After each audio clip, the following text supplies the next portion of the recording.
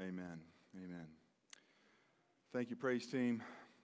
I invite you to turn in your Bibles, if you will, to Hebrews chapter 8. Hebrews chapter 8. Boys and girls, you may go to children's church at this time and also play practice. And uh, the rest of you should have received an outline in your bulletin. If you did not, if you will. Uh, Raise your hand. One of our ushers will get you one of those here momentarily.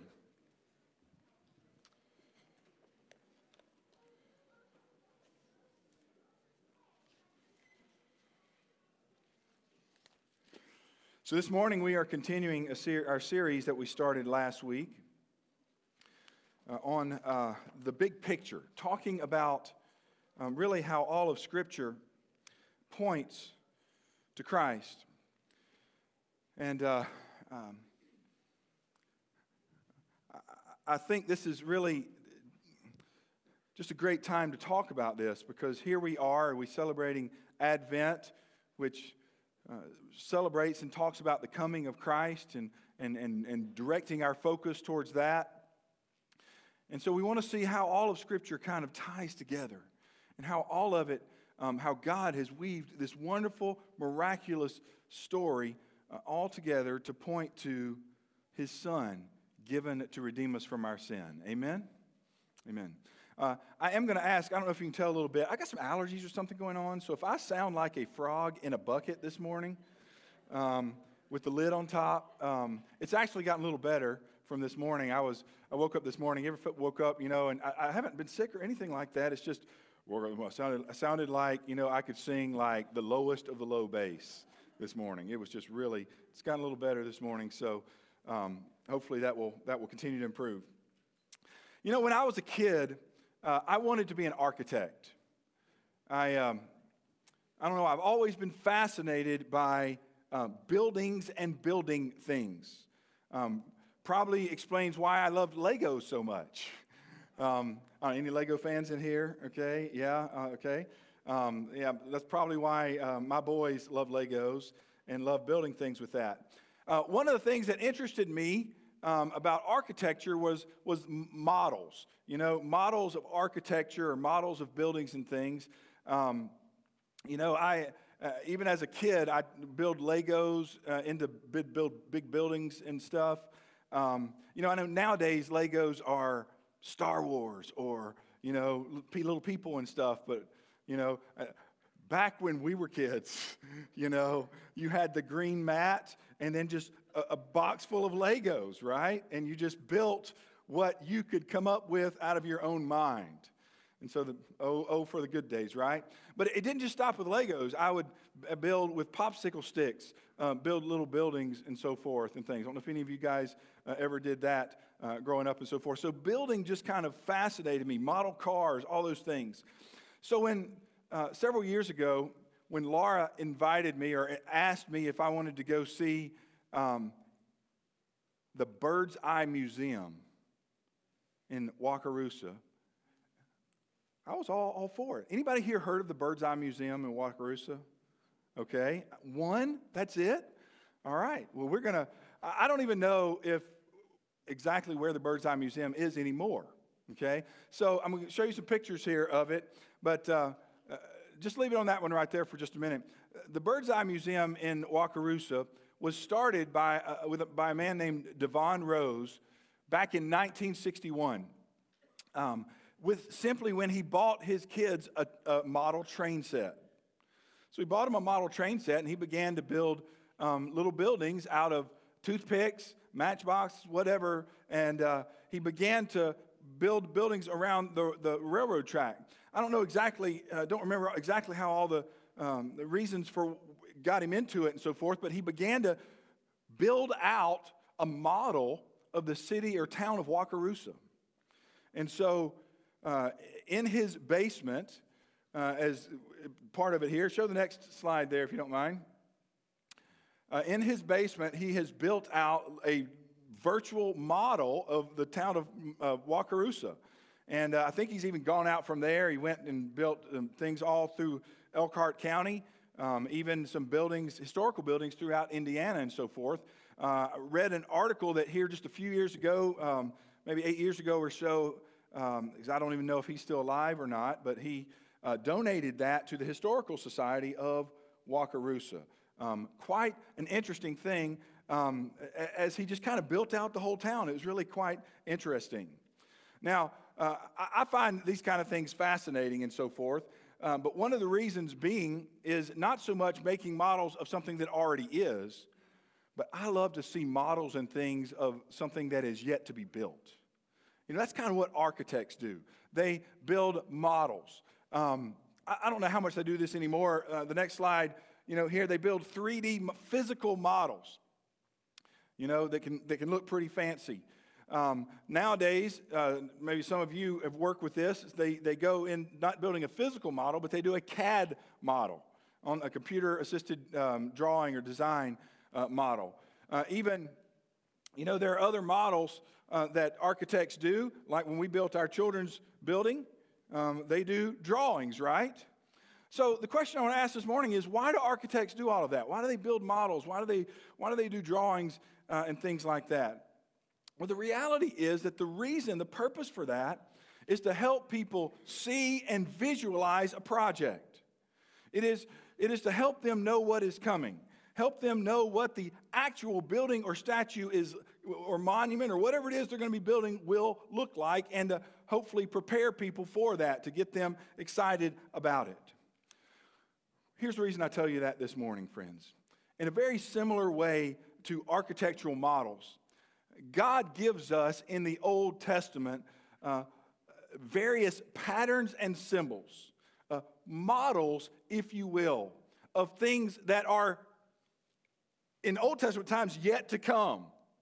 Uh, things that will help us and originally the Jews to understand um, what would be coming in the New Testament God's design, God's plan, who Jesus would be, who the Messiah would be. God gives us models in the Old Testament uh, for the Jews and then for us to look back on to prepare for the coming Messiah.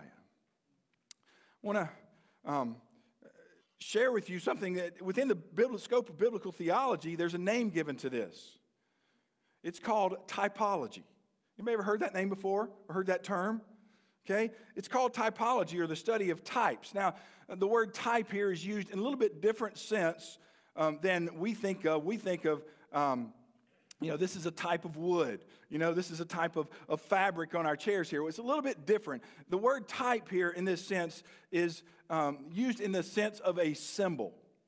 Uh, typology is a special kind of Old Testament symbolism that is prophetic in nature. Uh, a type can be any person, place, event, or thing uh, in the Old Testament that foreshadows or represents something in the New Testament. Um, the symbol or the type in the Old Testament provides the concept, very much like a, a, an architectural model, provides the concept for understanding God's purposes in the New Testament. So, in, in understanding this in the scope of all of Scripture, some people don't see a connection between, as we talked about last week, between the Old Testament and the New Testament. And so, what I want to show you throughout this whole series that we're doing is, friends, listen, what God did in the New Testament wasn't that all of a sudden he was bipolar and he changed his thinking. Okay? Uh, everything was God's plan from the beginning. It wasn't plan B. Uh, God had it all. And, and, and, and to prove that, to show that, to demonstrate that, friends, we see various types that He has woven into history, given us, recorded in the Old Testament that foreshadows things in the New Testament.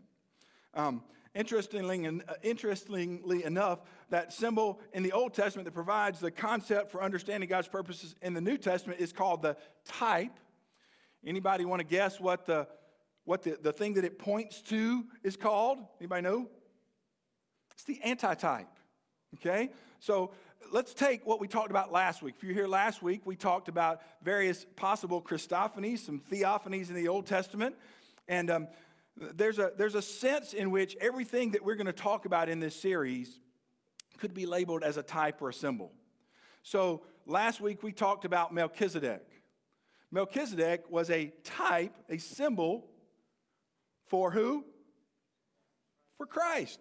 For Christ. So if Melchizedek is the type, what's the antitype or who's the antitype? Christ, the Lord Jesus. And so, um, even though, as I said last week, I believe Melchizedek was way more than just a symbol, friends, he was a foreshadowing of Christ to come. Um, now, technically, a type is only a type if the New Testament identifies it as uh, such. You know, let's, I want to just say this we need to be careful. Um, we cannot um, allegorize things in the Old Testament to the point that we are just pulling out things that we think they are. There are, the things we're going to talk about this morning are obvious, and the New Testament shows us the symbolism that the Old Testament, uh, that God had intended in the Old Testament. So, um, today we're going to talk about three specific patterns, symbols, types in the Old Testament that point to Jesus Christ. Number one. Actually, I'm not going to give you number one yet. Turn your Bibles to Hebrews chapter 8. Give it, give it to you here in just a moment. Hebrews chapter 8. Now, if you remember, we, uh, we did a series on the book of Hebrews here a couple years ago. And uh, we talked about these things, but I want to just point out and pull out some, um, some things that the, the, the, the letter to the Hebrews um, says to us and points out about this to us. Verse 1 of chapter 8 says this it says, Now this is the main point of the things that we are saying. We have such a high priest who is seated at the right hand of the throne of the majesty in the heavens. Who is that? It's Christ. It's the Lord Jesus Christ. Verse 2, he says, a minister of the sanctuary and of the what?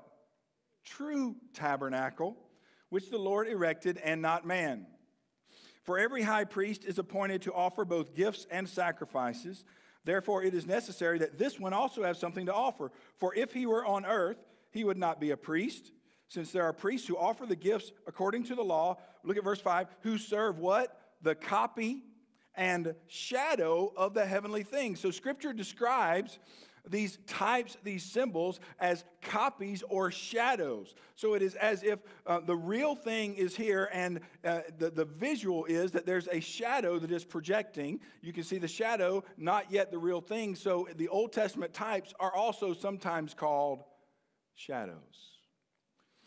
Who serve the copy and shadow of the heavenly things, as Moses was divinely instructed when he was about to make the tabernacle. For he said, See that you make all things according to the what? the pattern shown you on the mountain. So, how many of you have ever been reading through? Tried to read, listen, I, you say, you know what, this year I am determined I'm going to read through my Bible this year.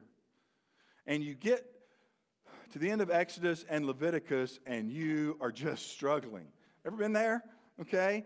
Um, and you're saying, man, how do I get through all this? And there's, there's the laws and the, the, the way the tabernacle was to be built and all these things that you don't understand and so forth and so on. And, and, and here's, what, here's why all that stuff's there. You see, God gave all those instructions to Moses and the Israelites as a pattern for them to build the tabernacle. But uh, that, it, it, it, that's not, that wasn't the end all be all. Okay? Look at chapter 9, verse 1.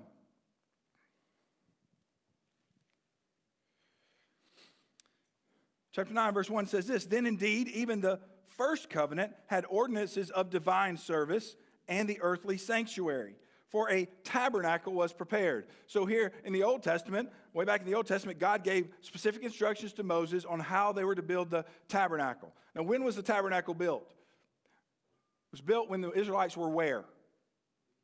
In the wilderness. Okay? And so it wasn't like they were going to build a permanent structure, but God gave them specific instructions down to the minutest detail on how they were to build this, but it wasn't built in the sense that we build a building. It was, it was basically a tent. The word tabernacle means tent. It was a tent of meeting. It was a place. It was to be their place of worship. Now, here's, a, here's a model of uh, the tabernacle. And here's kind of the deal with the tabernacle. So it was a tent, it was portable, all right? So imagine, uh, you know, I know some of you maybe have been a part of a church before. That's a church plant that you have to set up and tear down every Sunday. But imagine you just didn't have to set up and tear down the chairs, but you had to set up and tear down the whole thing. Okay, that's basically what they had to do. Probably not every week and so forth, but it, they would move to a location, and when they were in that location, um, they, everybody had a job, and they set up the tabernacle. And here is the tabernacle complex and so forth. Technically, the tabernacle proper is the center part. Um, I think I have a laser pointer here. Um, the center part right here, um, which was broken down into two parts. Let's continue on in verse 2. It says, For a tabernacle was prepared. The first part, if you'll um, go ahead and show me the next slide there, please. Shows an, this shows a kind of a, a floor plan or a, a, view looking from the top. It says, For the first part, in which was the lampstand, the table, and the showbread, which is called the sanctuary or the holy place. So the first section of that um, tabernacle uh, is called the holy place. It says, and behind the second veil, uh, here being the veil, and here this second part says here, the, the part of the tabernacle which is called the holiest of all, or the holy of holies, if you've heard that term before.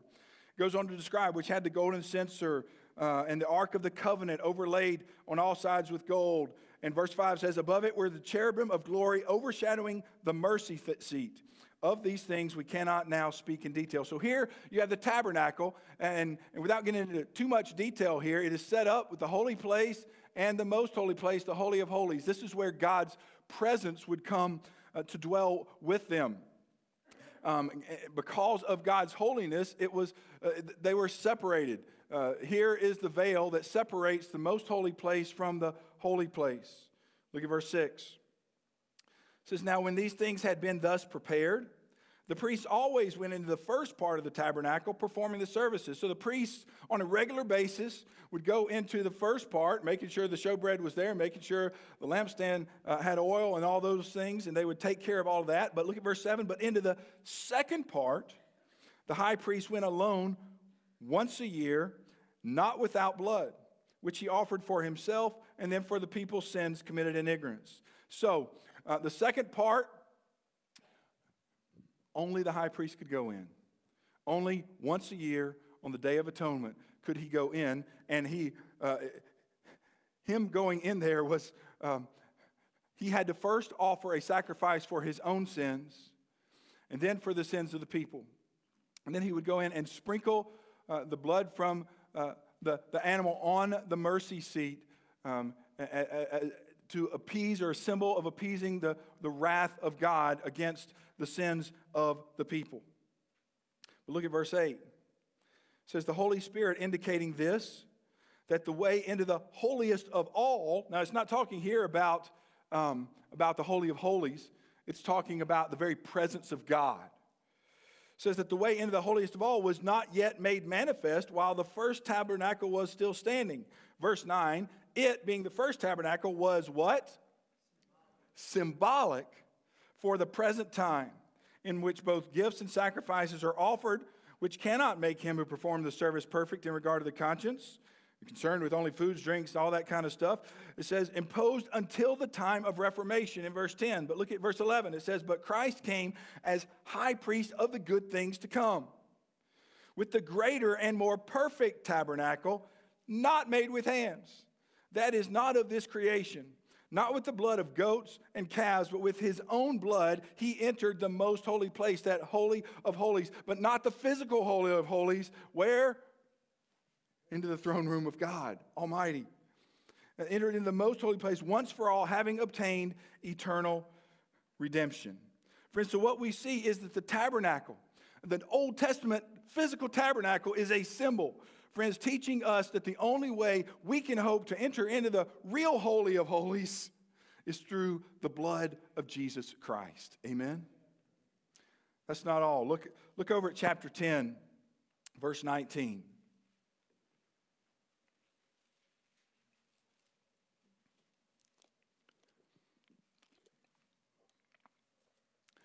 It says, Therefore, brethren, having boldness to enter the holiest by the blood of Jesus. Now, we're a chapter or so later, and we'll we're going to come back to some of that stuff in the middle there. But because of the sacrifice that Christ gave for us, we know that there's no way we can uh, earn God's favor. There's nothing we can do to make up for the sin that we've done. Um, there's not even uh, physical sacrifices don't actually make up, we'll talk about this a little bit more in a minute. Um, don't actually pay for our sin, only the blood of Christ because he became one of us so that he could die for us. Therefore, uh, therefore, allowing us to enter into the holiest by the blood of Jesus, verse 20, by a new and living way, which he consecrated for us through the veil that is his flesh. Now, I've already mentioned this, but the, if you can go back one slide there to the picture of the tabernacle. In between the, Gabe, if you can go back there for just, can you go backwards? Maybe we can't go backwards. There we go. Uh, from the holy place, uh, separating the holy place and the Holy of Holies was the veil. Later on, when the temple was built and, and then rebuilt, um, uh, the, the, the layout of the temple uh, was very similar to the tabernacle. It was once they could build the permanent structure uh, in Jerusalem. Um, there was uh, a veil, same called the same thing here, but was basically a huge, heavy curtain. All right, this is not like your bathroom curtain, okay, um, but a huge, heavy curtain that separated the holy of holies from the most holy place. And we know uh, the scripture tells us that when Christ was sacrificed on the cross, what happened to the veil that was the separate? See, the, the veil uh, symbolized originally our sin that separates us from the holiness of God, that keeps us from being able to have fellowship with God. But when Christ died on the cross, what happened? It broke, it tore, right? From top to bottom. Wow, symbolizing what?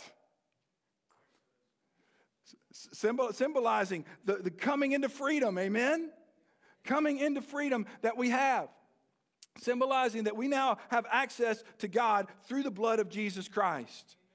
Uh, look at verse 21 and 22. It says, Having a high priest over the house of God, let us now draw near with a true heart in full assurance of faith. So, through faith in Christ, the veil has been torn down through his blood, and we now are able to be reconciled to God, to have direct access so that we can come, as verse 19 says, with boldness into the eh, eh, eh, directly to God.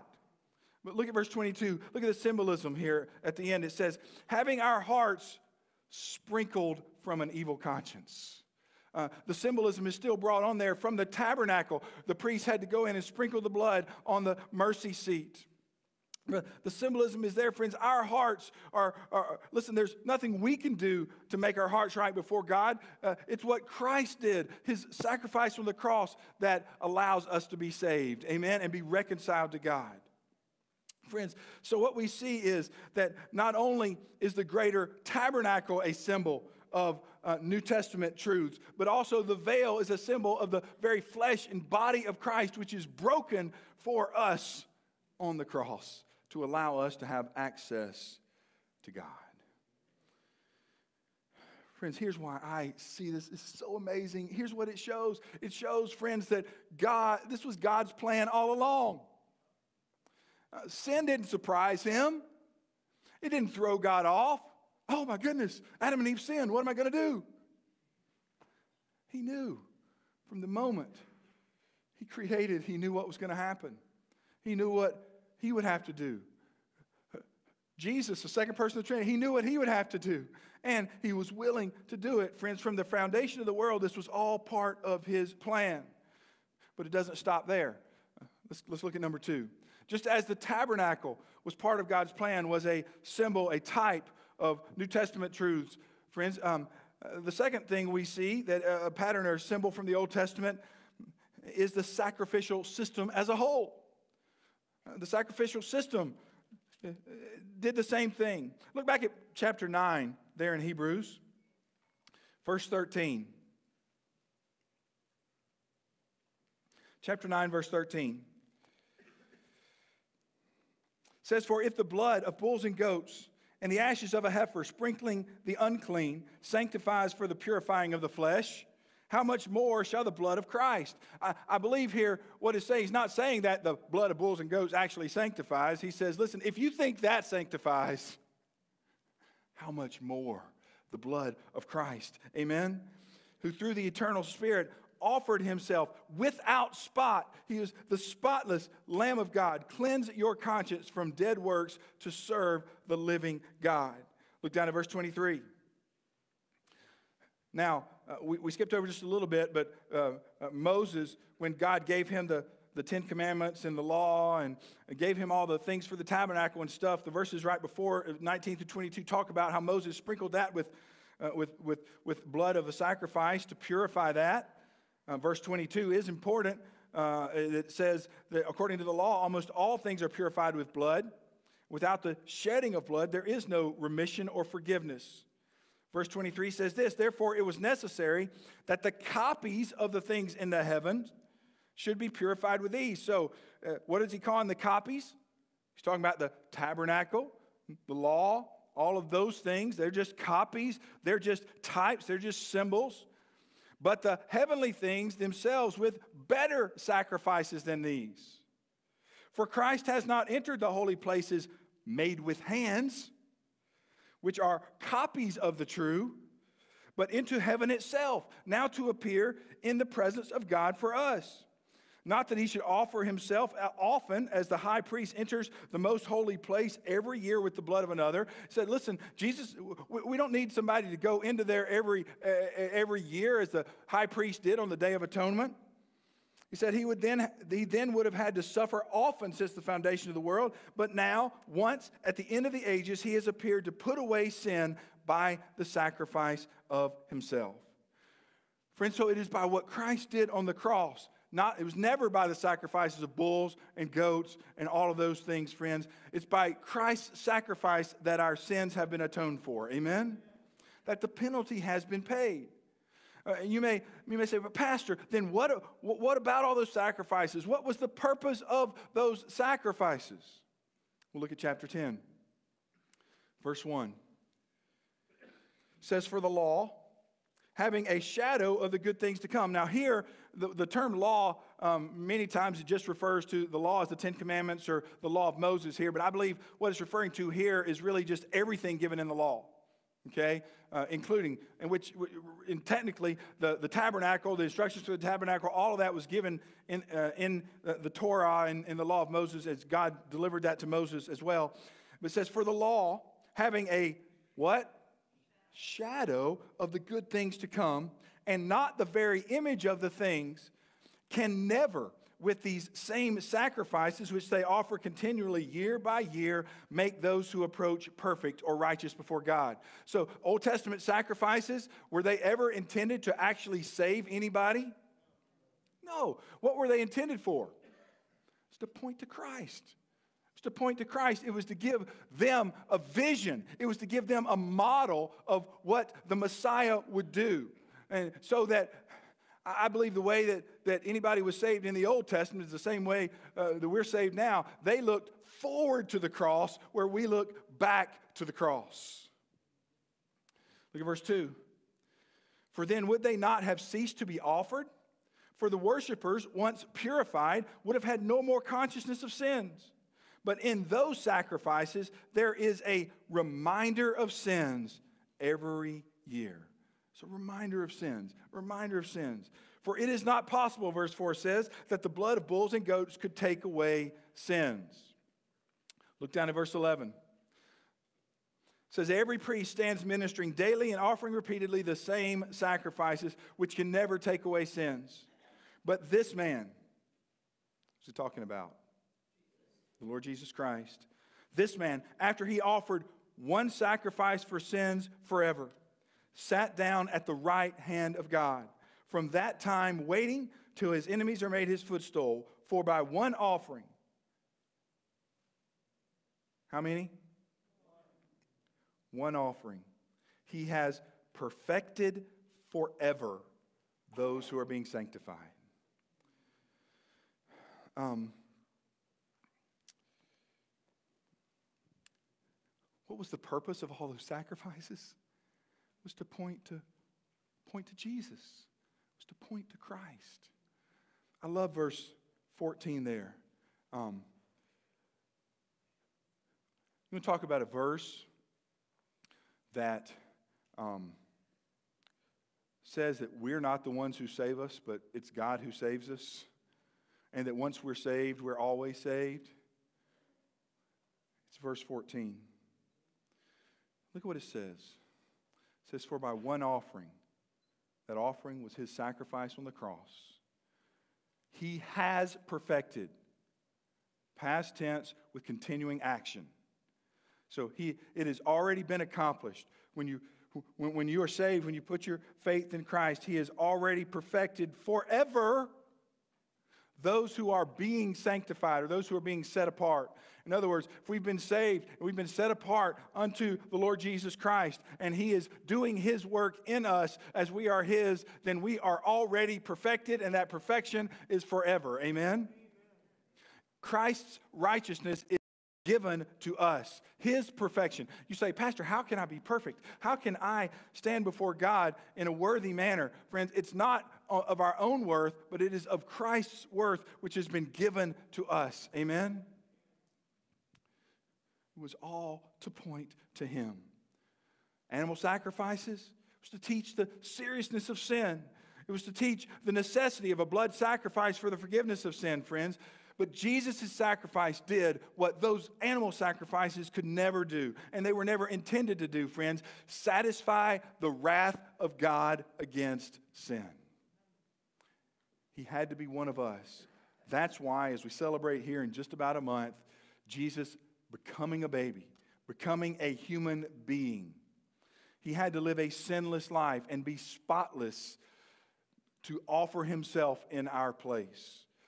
Because of that, friends, the Father says that he accepts his sacrifice on behalf of us, in behalf of our sin, so that we put our faith and trust in him. We believe that with all of our hearts, friends. We are saved. Amen?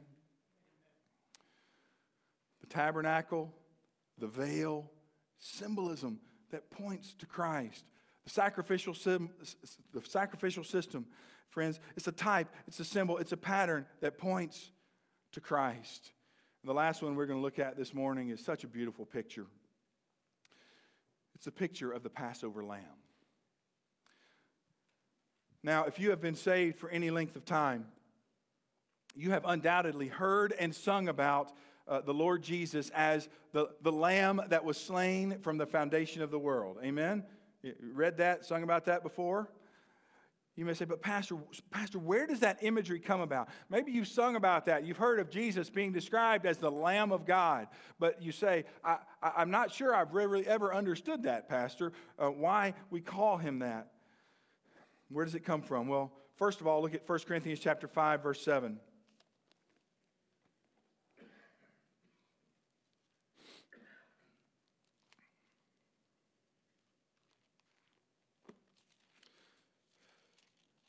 They are going to be on the screen and in your outline as well. 1 Corinthians chapter 5 verse 7. In the midst of Paul talking about immorality in the church of Corinth and talking about um, how they need to purge out the old leaven, he makes a reference um, to uh, the Passover. And uh, the, it, it, has a lot to do with the feast and, and the, the, the feast of unleavened bread. But in verse 7, he makes this statement. He says, For indeed Christ, our Passover, was sacrificed for us. Friends, here Paul calls Jesus very literally our Pascha.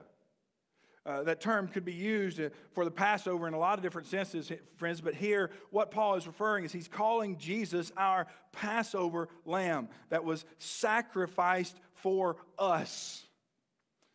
Look at John chapter 1, verse 29.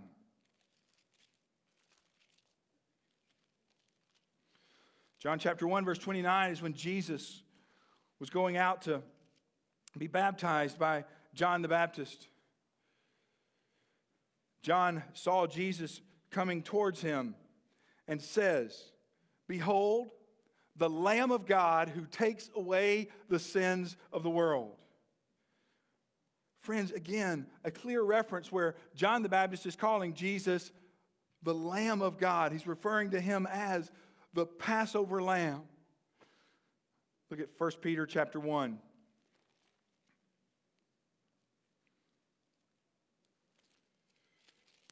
First Peter chapter 1 verse 18 Peter writes this he says knowing that you were not redeemed with corruptible things like silver or gold from your aimless conduct received by tradition from your fathers, but with the precious blood of Christ, as of a lamb without blemish and without spot. Friends, what a beautiful picture. Amen? What a beautiful picture that, that is clearly uh, referred to not only here, other places in Scripture in Revelation, uh, we know uh, that all will worship the Lamb. Friends, all these scriptures make a clear and definite connection uh, uh, of Jesus Christ to the Passover lamb. But the question is, what does that mean? You say, Pastor, what, what was the Passover lamb? Why, why, are, why are they referring to Jesus as the Passover lamb?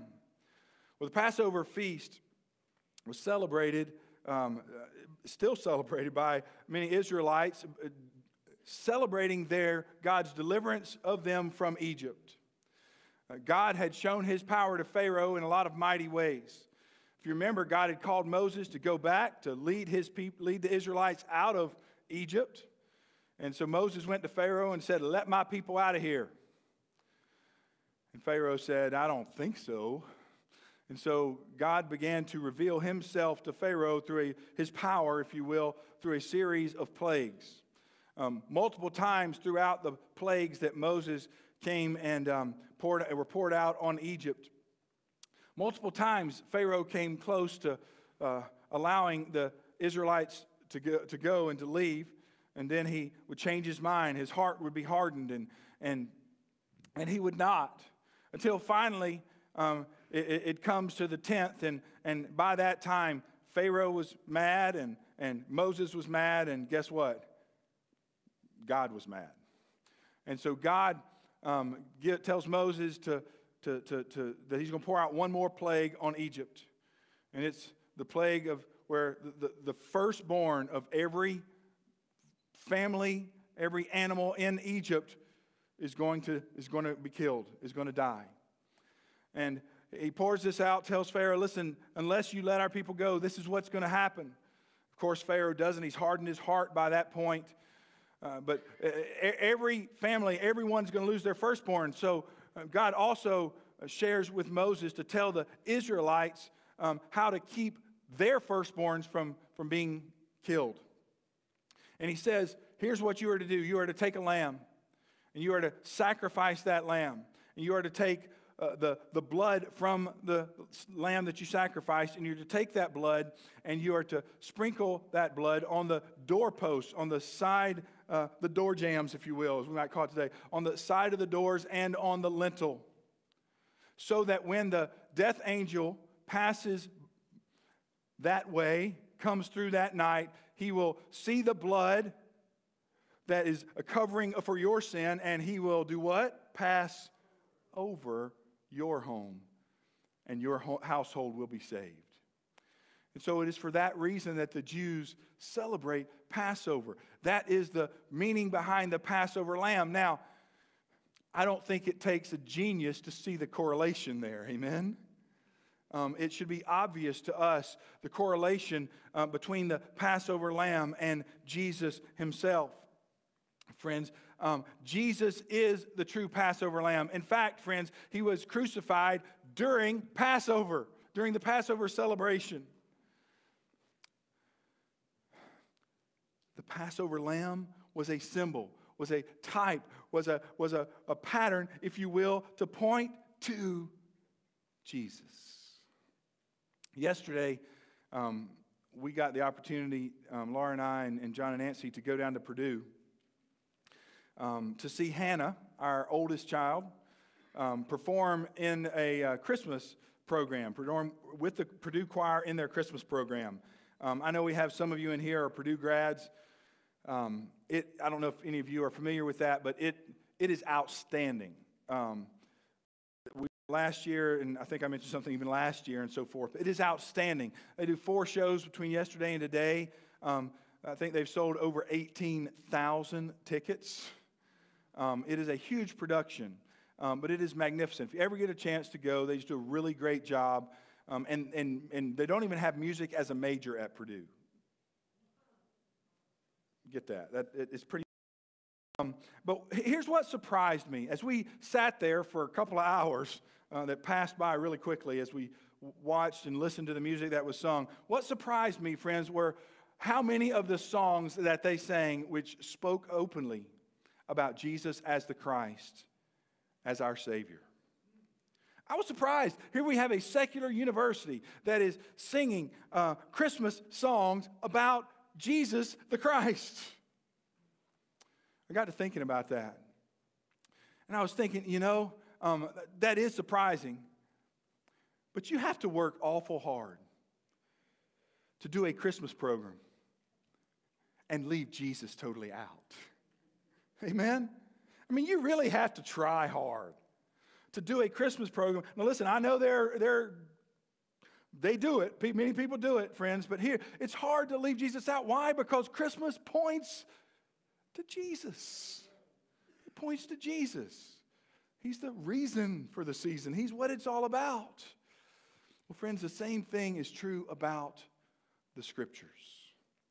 As this morning we've looked at the tabernacle, the veil, the sacrificial system, the Passover lamb, friends, guess what?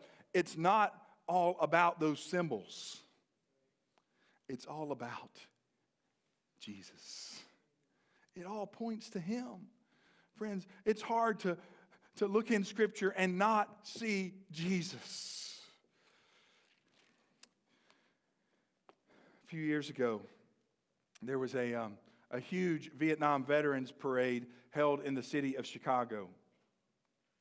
What made this particular parade unique was that part of the commemoration involved a, uh, a mobile version, a somewhat smaller version of the original Vietnam Memorial Wall.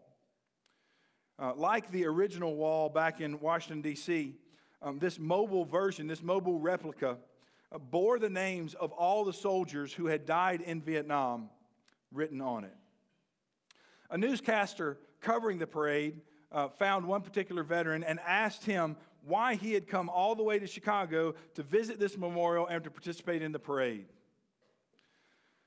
The soldier looked straight into the face of the reporter with tears flowing down his face, said this. He said, pointing at the wall, he said, Because of this man right here. So the soldier talked. He was pointing to the name of a friend that he had served with that was etched in the wall. He said, This man, he traced it with his fingers. He's, as he traced his, with his fingers the letters of his friend's name in the wall, he continued by saying, This man right here gave his life for me. He gave his life. He didn't elaborate, he didn't go into a lot more details, friends, but as the news clip ended, the sobbing soldier let the tears flow as he stood there, continually just tracing over feeling over the name of his friend over and over again with his finger. Why? Why would he do that? Why would he be so emotionally drawn, friends? I believe it was because of the gratefulness for what his friend had done for him. Friends, you know, sometimes it's hard for us to get our minds around the sacrifice that Christ has made for us.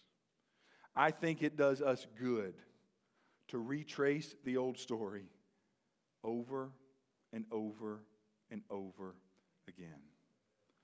To look at all the wonderful ways that God has given us throughout His Word, to picture it even before it ever happened, to look forward to it, to look back on it, to celebrate it, to, to let it always be in the forefront of our minds, friends, to trace the old, old story once again. I don't know where you are with all of this. Um, I don't know. Has there been a time in your life when you have surrendered your life to Christ? You know, everything that, that, po- that all these things point to, the, the, the sacrifice of, of, of Jesus Christ on the cross, the, what we're going to celebrate here in a month, that God the Son, the second person of the Trinity, stepped out of heaven to come to earth. Friends, reason all that happened was for you. Was so that he could come, give his life as payment for yours. Does that affect you at all? we go through our everyday lives and we just do whatever we are just doing, and we sometimes I wonder if we really understand where we would be without what Christ has done for us. I want to challenge you this morning. If you've never put your faith and trust in Jesus as the Savior of your life, friends, I encourage you, plead with you, beg with you, would you do that this morning? If you have, would you just thank Him for it? Would you allow your life to be an overflow of praise and thanksgiving? You know, we come here on Sunday morning and we sing. When Jesus gave his life for us, we come and, and we sing, oh, Thank you, Lord. And we just, it, it, it's as if it doesn't mean anything to us. We go out and we live our lives and, and, and we don't live as if we have been redeemed and saved from the pit of hell. Friends, we truly understand what Christ has done for us. It will transform the way we live, the way we share Him with others, the way we allow Him to flow, His love to flow through us. Amen? I want you to consider this morning where you are. Let's pray. Heavenly Father, Lord, we love you. We thank you for your great plan. We thank you, Lord Jesus, that you were willing to step out of heaven that you were willing to come to earth, to give of yourself as a sacrifice for our sins. Lord, please help us to understand the magnitude of that, of what you have done for us. And Lord, transform us through the power of your cross. Lord, we love you. We thank you. It's in your name we pray. Amen. I want to invite you, if you will, if you just stand with me. We're going to sing a, a song of, of invitation, of decision. If you're here this morning and, man, maybe you've just invited Christ into your life for the very first time, we'd love to celebrate that with you. Maybe you have some things you'd like for us to pray with you about. Maybe you want to rededicate your life to the Lord Friends, whatever it is, I want to encourage you to respond to respond to the Lord. Respond to how He's speaking to you this morning. Maybe you just want to come and do business with God, whatever's going on in your life. You need to confess some things, get some things right with Him. I want to invite you to do that this morning as we sing.